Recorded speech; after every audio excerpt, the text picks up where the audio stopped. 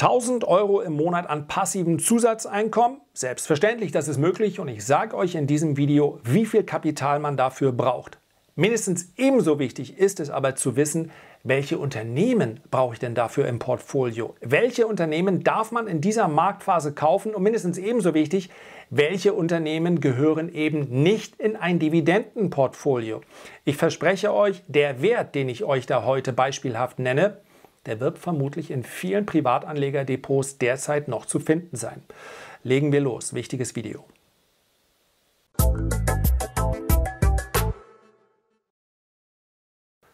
Ich begrüße euch ganz herzlich und ich hoffe, es geht euch gut. So, bevor wir gleich loslegen, möchte ich mich erstmal bei euch bedanken für die zahlreichen Genesungswünsche. Sie haben mich auf allerlei Kanälen erreicht. Es hat funktioniert, mir geht es besser und wir können weitermachen. Also vielen, vielen Dank dafür. Wir sprechen heute über Dividenden. Meines Erachtens kommen wir jetzt in eine Marktphase, in der es wichtig ist, die Defensive zu stärken. Ja, jeder wünscht sich natürlich maximalen Ertrag, maximale Rendite, aber Rendite und Ertrag stehen immer in einer Relation zueinander. Chance und Risiko stehen immer in einer Relation zueinander. Der Homo economicus, so nennt man den Menschen, der maximal hm, ökonomisch, also wirtschaftlich handelt, den gibt es nicht in seiner reinen Kultur. Aber es ist wichtig, dass man sich im Marketing nicht blenden lässt von der Jahrhundertchance. Also beispielsweise davon ausgeht, ich kann meine langfristige Rendite dadurch maximal steigern, dass ich jetzt, dann nehmen wir mal den Jahrhundertshort umsetze. Ja, so ein One-Time-Event dann handel und sagt, das ist die Spekulation, da kann ich mir alle anderen langfristigen Erträge für sparen. Wer das behauptet, der führt euch hinters Licht. Spekulation bin ich immer für zu haben. Aber wenn wir über langfristige Investitionen sprechen, dann ist es wichtig, gerade wenn wir eigentlich defensiv und konservativ investiert sein wollen, dann ist es wichtig, die richtigen Werte im Depot zu haben. Und ich prognostiziere es. Es gibt derzeit viele Privatanleger, die glauben, sie seien, naja, eher konservativ und defensiv investiert. Sie sind es aber nicht, weil sie die falschen Aktien im Depot haben. Ja, Chance und Risiko. Man könnte auch sagen, es gibt das Maximalprinzip und das Minimalprinzip. Bei einem Minimalprinzip habe ich ein gestecktes Ziel und ich versuche dieses Ziel mit möglichst wenig Mitteln zu erreichen. Beim Maximalprinzip habe ich begrenzte Mittel und versuche damit das Maximale zu erreichen. Es gibt natürlich Mischformen, aber bei Chance und Risiko, die stehen immer in Relation zueinander. Und wenn ich mir irgendwie ausmale, das könnte doch ein System geben, wo ich sage, ich habe praktisch kein Risiko, aber ich kann eine maximale Rendite, also weit über der Durchschnittsrendite, die mir der Markt gibt, erzielen mit der geheimen XYZ-Methode. Ja, dann befindet ihr euch wahrscheinlich in dem semi-kriminellen, sagen wir, sehr graumarktlastigen Kryptosektor. Da gibt es solche Versprechungen. Macht das bitte nicht. Wer euch 8% safe verspricht, der sagt die Unwahrheit. Es gibt 8% nicht safe. Ja? Es gibt das, was uns Staatsanleihen derzeit so bieten. Die gibt es als sichere Anlage, als sichere Rendite. Mehr nicht. Unternehmen haben allerdings, zumindest einige, über viele Jahre hinweg bewiesen, dass sie heißt ja nicht umsonst Produktivkapital, dass sie mit ihrem Produkt, mit ihrer Dienstleistung, mit dem, was sie dort am Markt anbieten, dauerhaft es schaffen, sowohl die Dividende zu steigern, als auch im besten Fall den Kurs konstant zu halten oder leicht steigen zu lassen. Es gibt diese Unternehmen, nicht wie Sand am Meer. Und ich zeige euch jetzt gleich zu Beginn am Bildschirm, welche Unternehmen das eben nicht sind, auch wenn es noch so verlockend aussieht. Schauen wir drauf. So, das hier sind die drei wichtigsten Regeln, wenn es um die Zusammenstellung eines Dividendenportfolios geht. Wir sprechen hier über passive Einkünfte und diese Einkünfte möchte man selbstverständlich nicht durch aktiven Handel an der Börse erzielen, indem man also sagt, mal kaufe ich dieses Unternehmen, das liefert mir eine ordentliche Ausschüttung, mal jenes Unternehmen, sondern wir sprechen hier über Unternehmen, in die man langfristig investiert ist. Und dazu muss man diese Regeln beachten.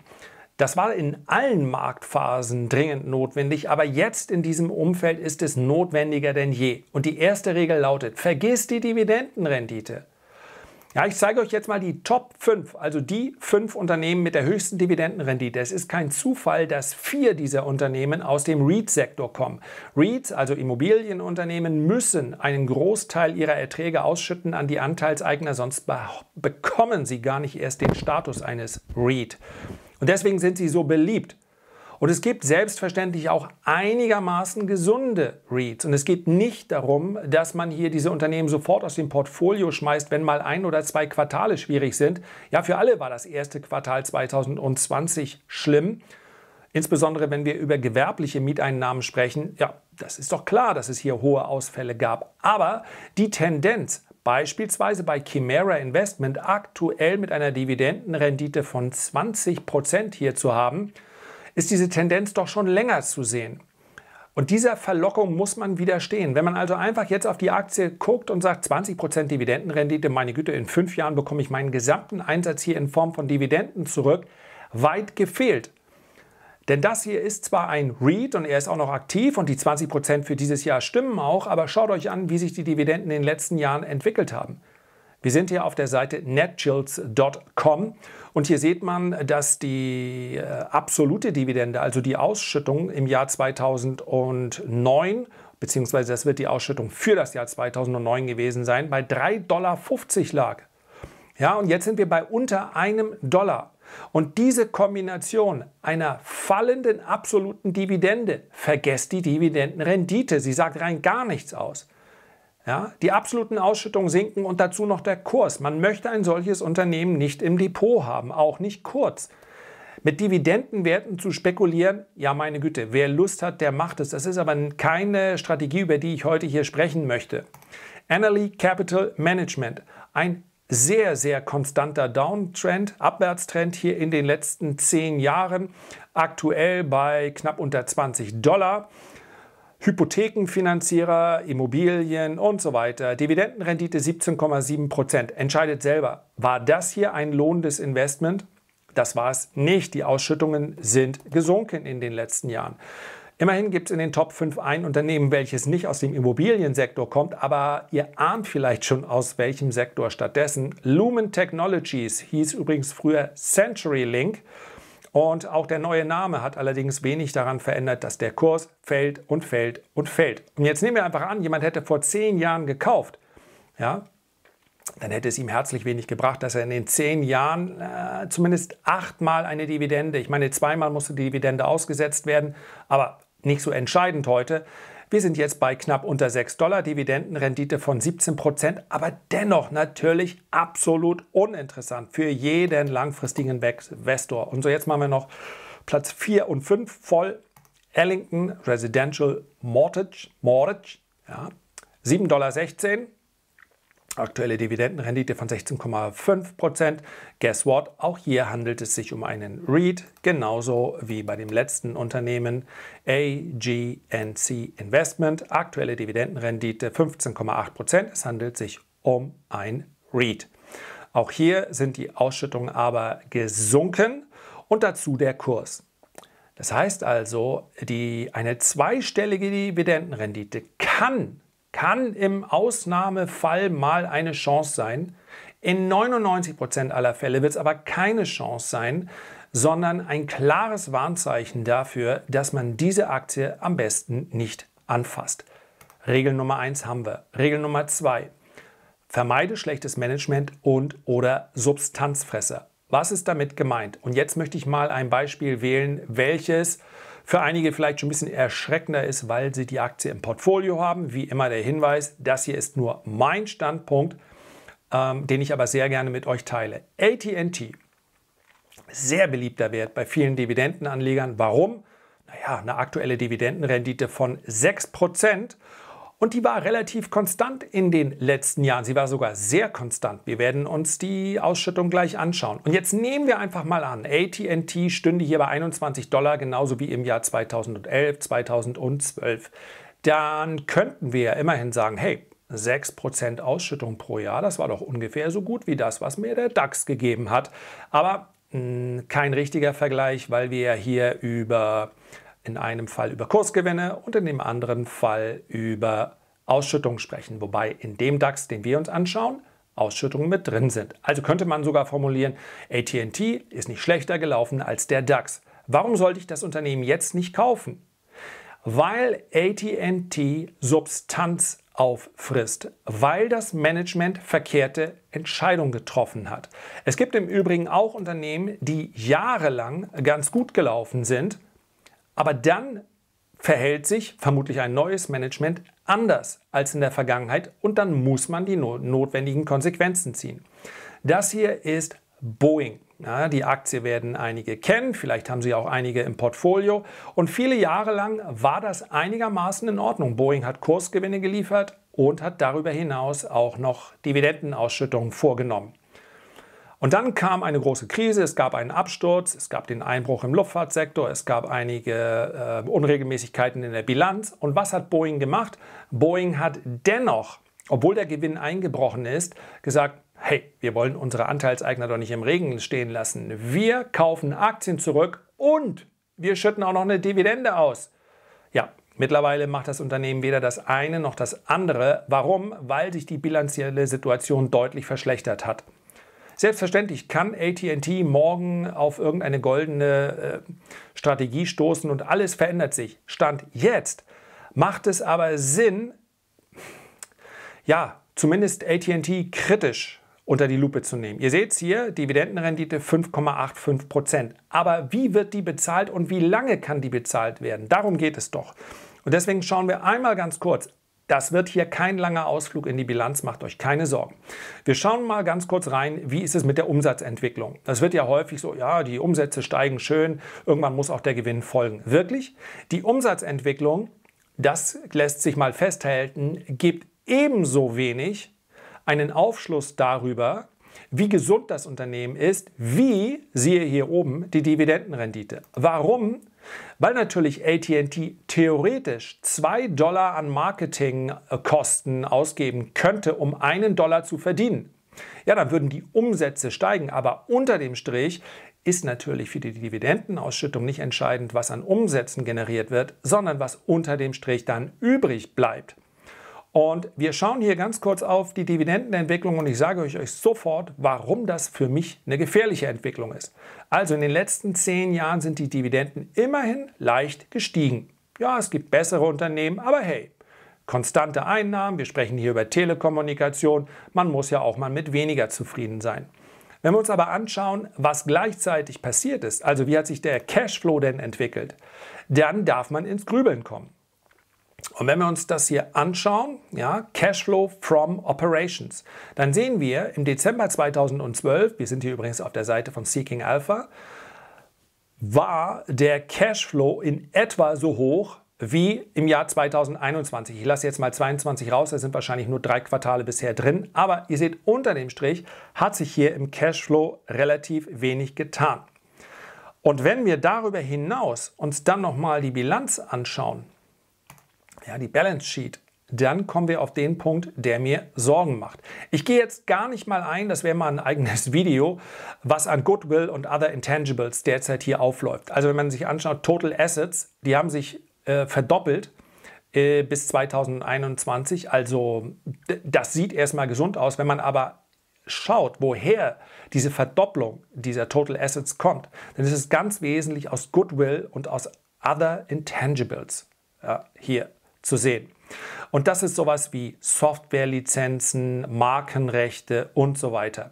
Und das ist sicherlich der Punkt in der Bilanz, mit dem am meisten rumgespielt werden kann. Denn am Ende des Tages sind das alles Sachen, um es ganz vereinfacht zu formulieren, die ich nicht anfassen kann. Das heißt also, ich kann natürlich sagen, der Name ATT steht für so viel Qualität, der ist mal allein schon mal 30, 40 Milliarden wert. Und ihr werdet euch wundern, wenn ihr mal genau ranschaut, denn ihr könnt natürlich in der Bilanz auch äh, euch anschauen, wie sich die Other Intangibles zusammensetzen, was da so das ein oder andere wert ist in so einer Bilanz. Aber das will ich Ihnen gar nicht vorwerfen. Ja, es ist absolut rechtens. Worum es geht, sind die Current Liabilities. Das sind also die Verpflichtungen, die das Unternehmen hat. Und die Long-Term Liabilities. Und ich habe ja gesagt, ich will den Ausflug nicht zu lang machen. Das hier ist, sind die langfristigen Schulden. Und wenn wir uns die anschauen, im Dezember 2012 Und jetzt aktuell, sie sind gegenüber dem Vorjahr deshalb niedriger, weil ich glaube, hier sind wie gesagt drei Quartale nur drin. Wir nehmen also Dezember 21. Sie haben sich nicht ganz verdreifacht. Die langfristigen Schulden haben sich nicht ganz verdreifacht, während der Cashflow einigermaßen konstant geblieben ist. Bei den Total Liabilities, also den Gesamtverpflichtungen, sieht es in etwa so aus. Und das ist eine Entwicklung, die möchte ich einfach nicht. Die will ich nicht bei einem Unternehmen in meinem Portfolio. Denn wenn die Schulden steigen und gleichzeitig, so wie jetzt, ja, das hat jahrelang war es nicht ganz so schlimm, weil die Zinsen bei Null waren. Für ein Unternehmen waren sie nie bei Null. Ein Unternehmen hat immer äh, auf seine Anleihen eine gewisse Rendite zahlen müssen, um die loszuwerden. Aber selbstverständlich verändert sich das jetzt komplett. Und ich habe beispielsweise gerade eine Studie gelesen, sollten, äh, einfach eine Annahme, sollten die Finanzierungskonditionen sich für ATT so verändern, dass sie im Schnitt 7,5% zahlen müssten auf ihre langfristigen Schulden. Das wird dann passieren, wenn die Zinsen länger hoch bleiben als äh, einige Quartale. Dann betrüge das Kursziel laut dieses Analysten 7 Dollar. Und genau das ist das Problem. Warum sollte ich so ein Unternehmen in meinem langfristigen Portfolio haben, wenn es doch anders geht? Ja, die langfristigen Schulden sind bei 152 Milliarden per Dezember 2021. Und die Marktkapitalisierung von ATT liegt bei 135 Milliarden. Das heißt also, die langfristigen Schulden übersteigen die aktuelle Marktkapitalisierung. Damit spreche ich nicht über Insolvenz. Aber damit spreche ich über die berechtigte Frage hoffentlich, warum sollte ich denn dann dieses Unternehmen im Portfolio haben, welches dann auch noch sagt, ja, ja, die Dividenden, die halten wir aber konstant. Es ist ja schön und gut, aber ich möchte doch wissen, wo die Dividenden herkommen. Und wenn man sich das in der langfristigen Entwicklung anschaut, ja, sie sind leicht gestiegen. Aber ab hier steigen die Schulden ganz erheblich und die Dividenden ebenfalls leicht. Und das geht einfach nicht zusammen. Jetzt sind die Dividenden schon mal deutlich zurückgenommen worden, zuletzt. Und das ist genau die Kombination von Schulden und von Management, die ich nicht haben möchte. Und wer jetzt sagt, naja, so werden schon die meisten Unternehmen aussehen, haben ja alle unter den Nullzinsen ähm, nicht gelitten, sondern haben sich ja darüber gefreut. Wir nehmen jetzt mal den guten alten Warren Buffett-Klassiker. Ja, Market Cap 264 Milliarden. Entwicklung der Dividenden ist nicht, vielleicht für den einen oder anderen nicht spektakulär genug aber relativ konstant einfach immer weiter gestiegen. Im Übrigen auch viel stärker gestiegen als die von ATT. Jetzt kann man natürlich sagen, Achtung, wer aufgepasst hat, naja, aber wie sieht es hier mit Schulden aus? Wie sieht es hier mit Fremdkapital aus? Schauen wir gerne drauf. Financials, Balance Sheet und ich bin in Coca-Cola aktuell nicht investiert. Das nur als Hinweis, das ist hier gar keine Promotion. Ja? Long-Term Debt bei Coca-Cola das dürfte in etwas weniger, nee, in etwa ein, ein, ähm, ein Zehntel der Market Cap. Wo waren wir jetzt gerade? Können wir nochmal nachgucken. Ein bisschen mehr, ne?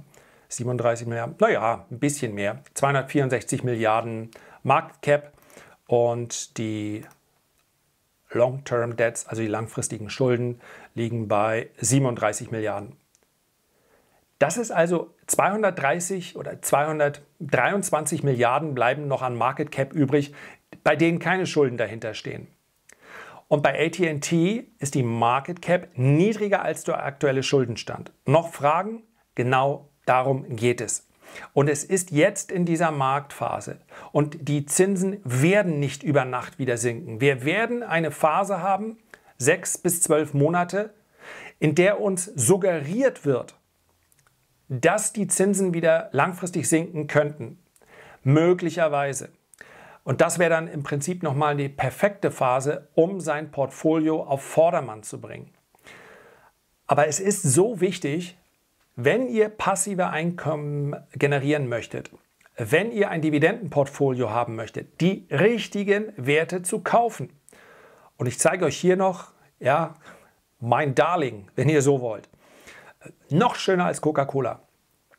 Ähnliche Marktkapitalisierung wie Coca-Cola, ähnliche Verpflichtungen, also äh, die Total Current Liabilities sind sehr niedrig in Relation zur Market Cap, zur Marktkapitalisierung und das ist die Entwicklung der Dividenden. Auch über diesen Wert und über die Strategie, die man in dieser Marktphase anwenden muss, meines Erachtens.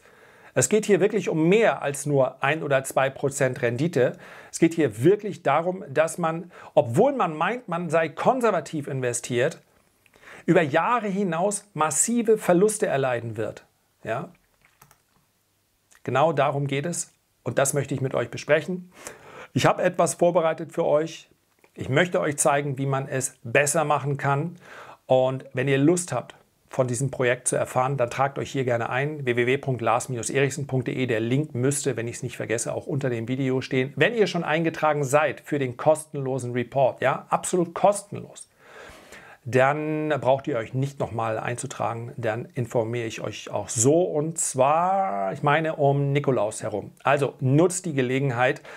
Das ist wirklich kein Spaß, diese Regeln derzeit. Ja. Beteilige dich an Qualitätsunternehmen. Es gibt diese Unter äh, Qualitätsunternehmen. Es ist aber mindestens ebenso wichtig, dass man die anderen rauswirft und jetzt reagiert. Und nochmal der Disclaimer am Schluss.